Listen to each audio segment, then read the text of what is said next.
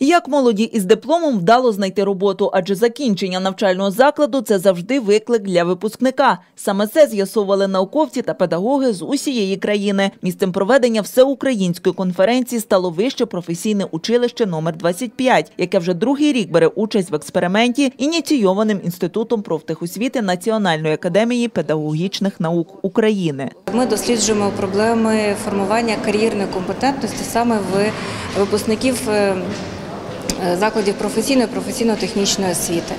Е, Ну, наразі дуже е, актуальна тема, оскільки наші е, соціальні партнери, роботодавці дуже часто нарікають, що е, випускники не вміють себе презентувати, Загалом брак мотивації та кар'єрної компетенції зустрічається у більшої частини випускників та навіть працівників установ. Є люди, які не здатні, не здібні до конкуренції. Їм просто не треба. І вони є везде, і на виробництві, і в педагогічній сфері, і в науковій. У нас дуже багато є колег, які прийшли, почитали, розвернулися і пішли. І їм все одно. За час проведення експерименту в інституті профтехосвіти розробили методики консультування з професійної кар'єри учнівської молоді. Тут вже відчули вагомий результат. Кількість працевлаштування молоді збільшилась на 10%.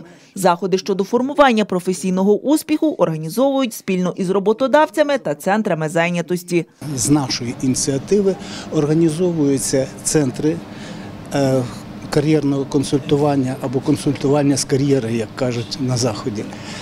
І е, в зв'язку з цим е, розширюється наш експеримент Участь у всеукраїнській конференції взяли і помічники народного депутата України Сергія Лабазюка. За ініціативи нардепа на виборчому окрузі номер 188 ще з липня стартували заходи, що спрямовані на покращення співпраці між профтехзакладами та підприємцями. Ми організували шість виїзних робочих зустрічей у шести закладах профтехосвіти міста Хмельницького, Волочиського, Хмельницького районів.